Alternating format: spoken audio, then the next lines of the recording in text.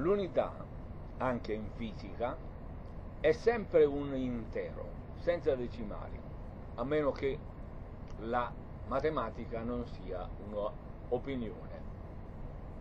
Ma la fisica ha due campi opposti che si moltiplicano tra loro, n per n alla meno 1. Il positivo n, è elettrico materiale, si presenta come un numero intero. Il negativo n alla meno 1, campo magnetico antimateriale, si presenta come un numero decimale. Pertanto, se si cerca solo una unità dissociata, ossia elettrica e o materiale, bisogna escludere la parte decimale inversa, che serve solo a rendere n diverso da 1 quello che invece è 1 come unità dissociata. Ma ciò bisogna farlo solo alla giusta dimensione per quella unità rispetto alle unità base del sistema internazionale. Per quanto riguarda la massa materiale, il riferimento è il chilo. Quindi, tanto per entrare nel dettaglio, chiarita che la dimensione unitaria dell'elettrone è 10 alla meno 31 kg, chiarito che l'elettrone è la particella di materia e quindi è una dissociazione della massa in materiale e antimateriale, bisogna capire che quella dimensione 10 alla meno 31 kg unitaria riguarda l'unità della massa, ossia il valore dato quando la massa della particella si moltiplica per la massa dell'antiparticella. Allora n moltiplicato n alla meno 1 è uguale a 1 alla dimensione di 10 alla meno 31 kg. Ma se a noi non interessa l'unità della massa, ma l'unità della massa materiale della particella, allora dobbiamo usare un contenuto dissociato per rendere diverso da uno l'altro contenuto, ma che allora lo esprime in unità. L'intera unità della massa materiale della particella che è dissociata, diventa allora n, ma chi la rende n è la quantità n alla meno 1 che a quella dimensione di 10 alla meno 31 kg appare nei numeri decimali. Se noi ci mettiamo a quella giusta dimensione, 10 alla meno 31, è quella giusta unitaria, adesso non sto a spiegare perché perché diventa un po' troppo lungo, se alla giusta dimensione.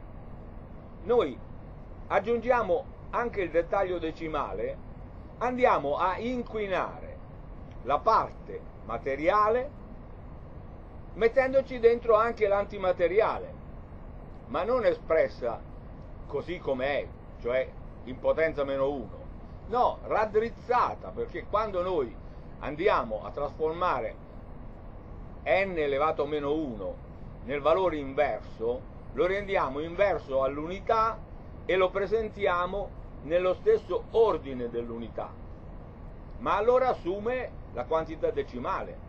Quindi tutta la scala delle grandezze, noi possiamo immaginarlo come un grafico che cominciando dal chilo e a mano a mano che diventano più piccole le unità, noi abbiamo una linea inclinata, noi su questa linea inclinata a una certa dimensione avremmo l'unità della particella, ma dobbiamo pensare che la parte sottomultipla, quella inferiore, serve proprio a dare numero diverso da 1 alla particella che è superiore, cioè che è materiale.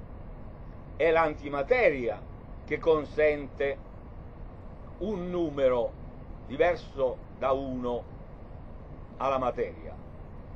Ma se noi per descrivere la materia poi aggiungiamo alla materia anche l'antimateria, vi sembra che noi così facendo descriviamo la materia? Considerate un'onda. È vero, un'onda intera è alto e basso. Ora, quello che divide l'alto dal basso è la linea di equilibrio. Noi possiamo considerare, facendo un esempio, la materia come materia che c'è. Ecco, a questo punto, rispetto alla, linea d'equilibrio, la materia c'è solo qua, nella parte superiore, perché nella parte inferiore dell'onda, immaginiamo un'onda d'acqua, l'acqua qui nella parte inferiore non c'è, non c'è materia e possiamo dire che è antimateria.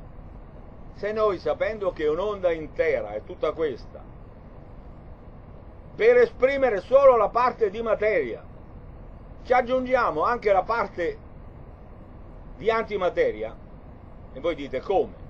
Sì, perché se noi a 9, che è la parte di sopra, aggiungiamo 9 alla meno 1, cioè un nono, e noi stiamo aggiungendo antimateria e inquiniamo un conto che oggi è inquinato in tutte quante le unità della fisica.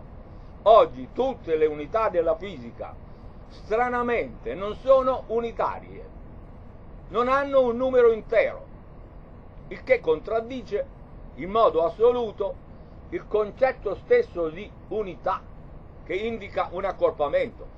Come fa una unità a esprimersi con un numero decimale con decimali infiniti?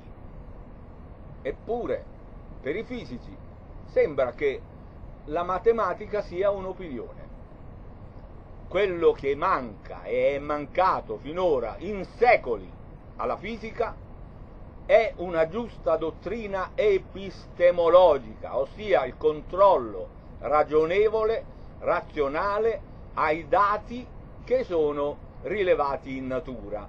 Se non sono letti con la giusta intelligenza, ecco, accade quello che accade ancora oggi e per quanto riguarda le masse che sono contenute nella relatività generale, infatti l'energia è uguale alla massa per C2. Per quanto riguarda le masse, non abbiamo il valore giusto delle masse, di nessuna massa, perché non sono espresse in termini unitari.